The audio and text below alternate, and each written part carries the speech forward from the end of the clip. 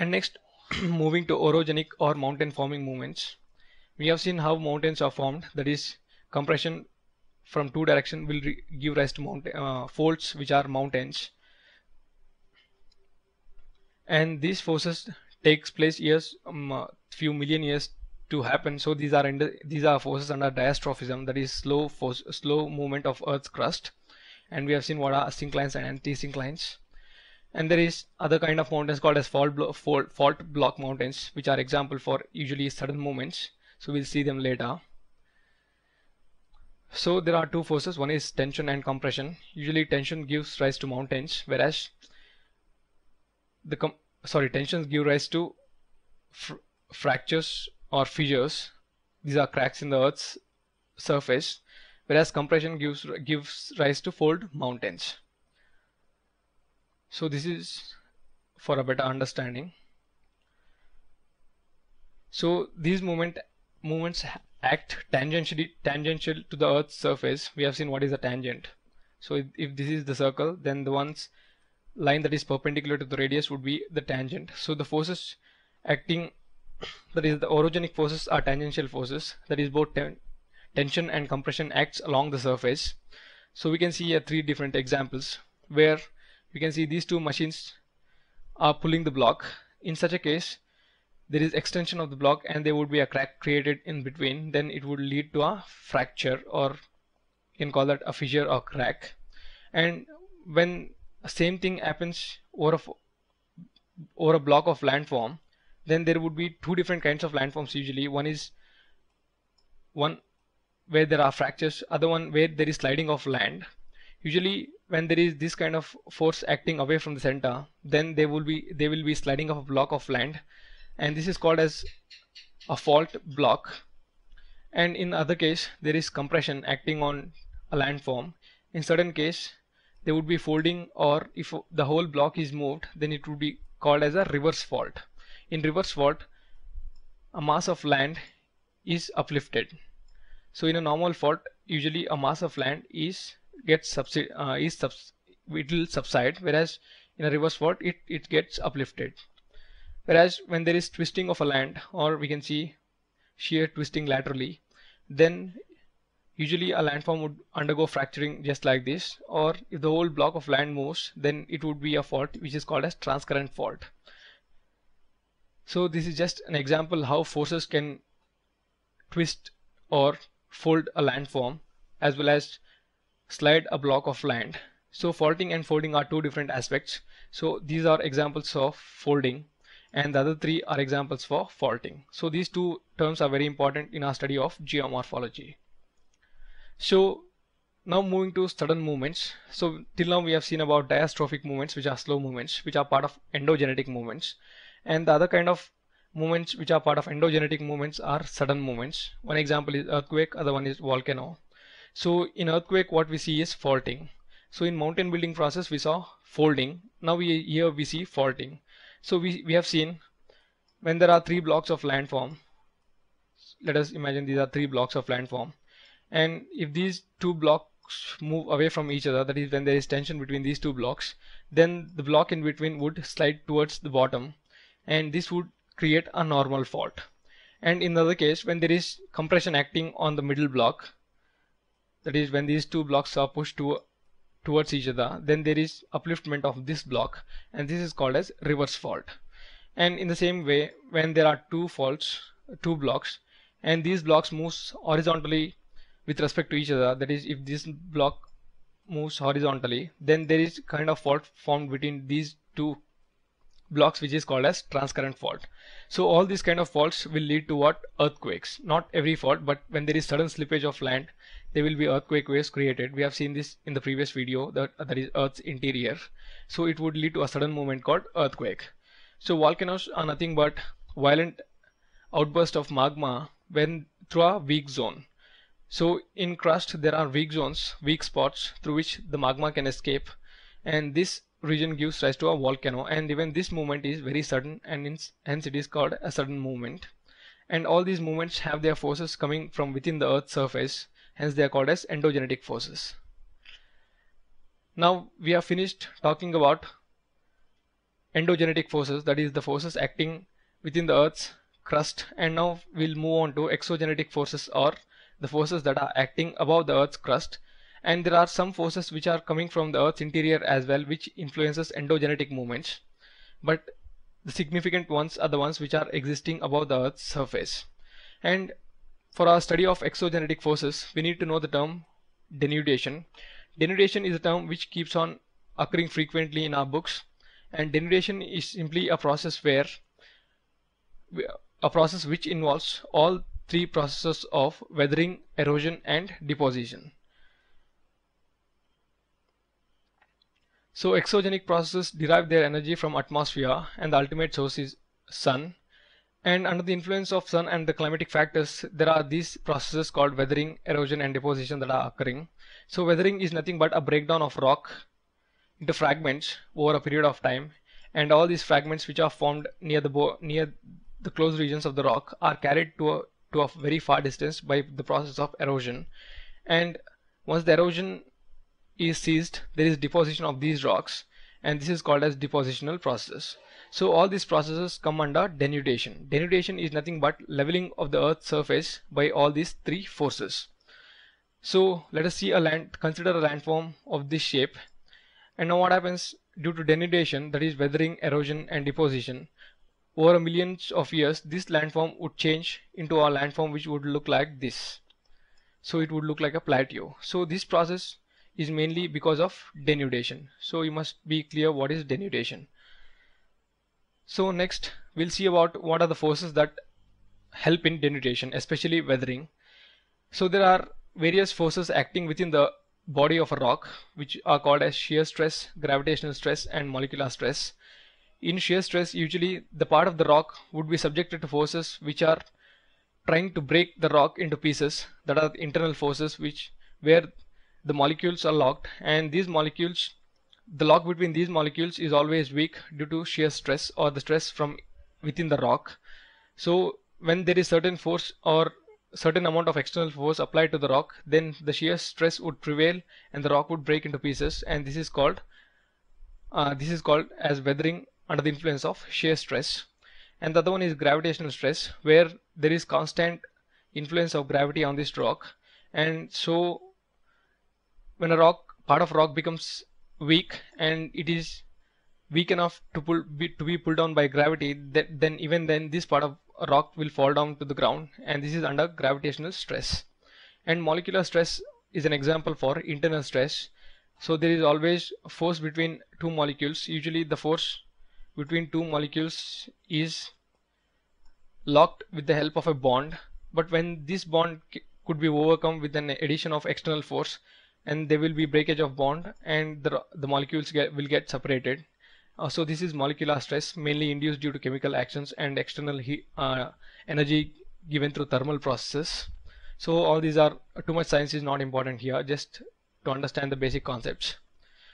So denudation would mainly involve three processes we have seen weathering, mass movements or erosion and then deposition or erosion to, uh, together acting as uh, towards creating a landform. So there are various forces acting at different stages. Usually weathering mainly comes under gravitational stress, chemical stress and molecular stresses. And then mass movements are the movement of these particles happen under the influence of gravity. And then kinetic energy is where the particles are in motion. This is erosion. And usually the kinetic energy ceases and the particle becomes a static one. And at this point it is deposition so now we'll move on to the core topic that is weathering. We have seen that in endo exogenetic uh, processes there are two important ones. One is erosion and other one is weathering. Erosion will be de dealt in other separate video. In this video we'll study in detail about weathering. So there are primarily three important types of weathering. One is called mechanical weathering other one is chemical and then bio biological. We'll see them in detail so in chemical weathering there are few important processes like carbonation hydration oxidation or redu and reduction. So all these processes are mainly chemical changes. In carbonation, carbon dioxide reacts with water giving rise to carbonic acid. And rocks are very susceptible to acids. That is they are very vulnerable and acids can easily erode them or weather the rocks. That is break down the rocks into pieces. So but weathering is not a quick process. It takes a lot of time so carbonic acid or weak acid can influence the breakdown of rock over a period of time. So carbonation is an important process. Hydration is nothing but where water fills the gaps or uh, cracks in the rock. And due to change a seasonal change in weather that is successive uh, sorry uh, consecutive hot and cold weathers will influence the volume of this water. And this will in induce stress in the rock. And uh, under the influence of stress as well as certain chemical reactions in the presence of water the rocks will weather or they break down into pieces so this is under the influence of hydration so in oxidation and reduction in oxidation mainly we see the reaction happens in the presence of oxygen where the rock gets oxidized. For example, the best example is rocks with iron content. Iron usually in the presence of oxygen gets oxidized into iron oxide. Iron oxide is comparatively less stronger compared to iron and it is called rusting. So iron oxide is very easy to be broken down and with the passage of time the rock will break into pieces due to oxidation. So this oxidation happens with all the kinds of rocks but it is very quick with rocks having metals such as iron magnesium etc so under the reduction usually these processes of both oxidation and reduction are irreversible for example iron can be converted into iron, ox iron oxide but iron oxide cannot be reduced to iron. So reduction means different. In the absence of oxygen the iron oxide would undergo reactions and iron oxide which usually takes the form FeO it might be FeO2 Fe, uh, it's a chemical formula not important. So in the reduction process usually oxygen is lost but there is different combination of metals that uh, iron that is that that is the result of reduction process that it is totally different different from the original iron so even here the iron is very weak and it is very vulnerable to weathering process. So even oxidation and reduction are very important in chemical weathering. So for example red color of iron upon reduction turns to greenish or bluish. So we see how it gets worse with more reduction. So rocks will be easily weathered under the influence of all these chemical factors next let us move on to biological weathering in biological weathering weathering takes place mainly under the influence of organisms so it is nothing but chemical and mechanical weathering which is aided by various organisms for example you can see a tree which has broken down the rock here so in biological weathering, there are different processes. One is burrowing or where small rodents like rats, squirrels, etc. dig small holes through the landform, exposing the rocks inside to the water and air. As a result, there will be some chemical weathering happening. As a result, there will be breakdown of rocks within the earth's surface. This is mainly due to under the influence of rodents. So it is a part of biological weathering. Here we can see the rodents only act as the ones that are aiding the weathering whereas the main weathering process is chemical in nature likewise decaying plants will re release acids like carbonic acid. We have seen how carbonic acid could break down rocks. Not just carbonic acid many other acids can easily break down rocks. For example when a when a body decays it usually releases acids acids like carbonic acid sulfuric acid as, a, as well as nitric acid. And these acids are usually low in concentration. But these acids acids are having significant strength to break down or weather rocks and algae utilize mineral nutrients for growth and help in concentration of iron and magnesium oxides. We have seen that iron and magnesium oxides are usually ones that weak, weaken the rock because oxides are weaker compared to the original element. And under the influence of plant roots there is breakdown of rocks. This is an example for mechanical weathering which is induced by organisms. So here we can see both chemical and mechanical uh, weathering which are mainly aided by biological organisms. And there is one more important one called as physical and mechanical weathering. In mechanical weathering all the changes are physical that is there is no uh, influence of chemical weathering. Although chemical, biological and mechanical weathering are simultaneous processes acting on the same piece of rock, but in mechanical weathering we'll see only the influence of heat that is the differential influence of heat which acts on rocks which will lead to their uh, weathering process. So the first example is exfoliation. Exfoliation as you can see in the picture is simply the discarding of layers of rock which are exposed to sunlight or intense heat of sun. Usually what happens is during nights the temperature significantly falls whereas during daytime these rocks gets very hot under the influence of sun.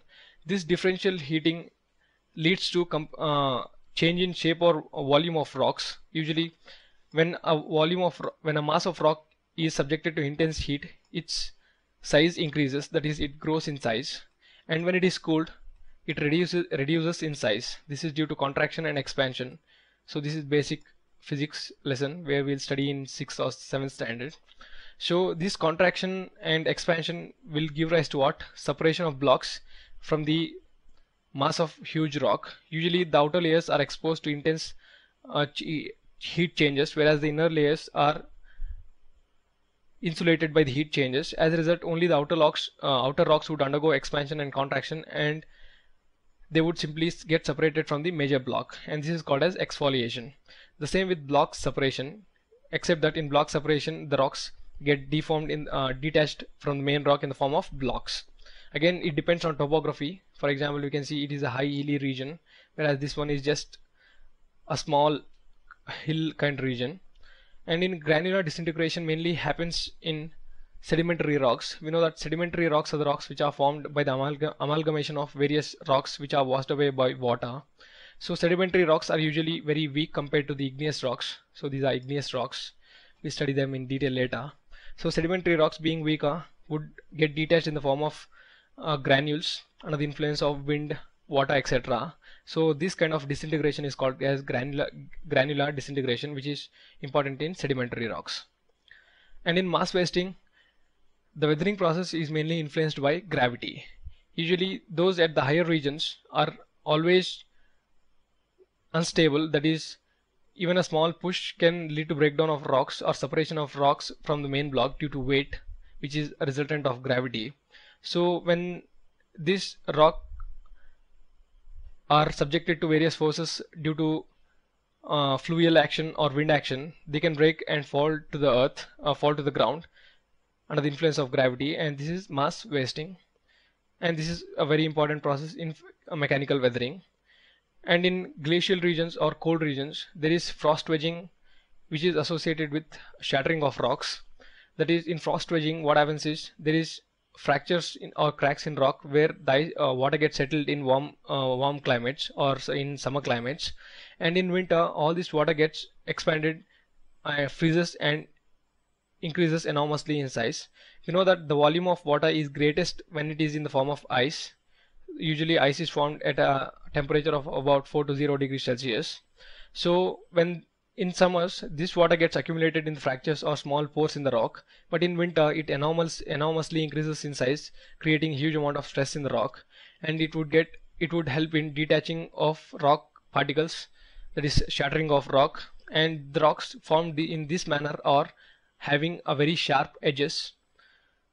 So this shape of rocks is very important in glacial erosion. Usually coming to erosion, glacial erosion is very significant and is very powerful compared to other other types of erosion. This is because of fine edges or that that are in the form of knife. So these edges are very sharp and they can easily erode huge amount of material with them. So when there is a movement of glacier or a mass of ice, then the mass of ice would move would carry these kind of rocks with them and these kind of rocks would simply grind the bottom layers cutting the layers very easily and the erosion here would be very significant. So frost action is a very important process in weathering because it leads to various glacial landforms. We'll study that in detail later. And let us now look at effects of or sig and significances of weathering. First let us see effects.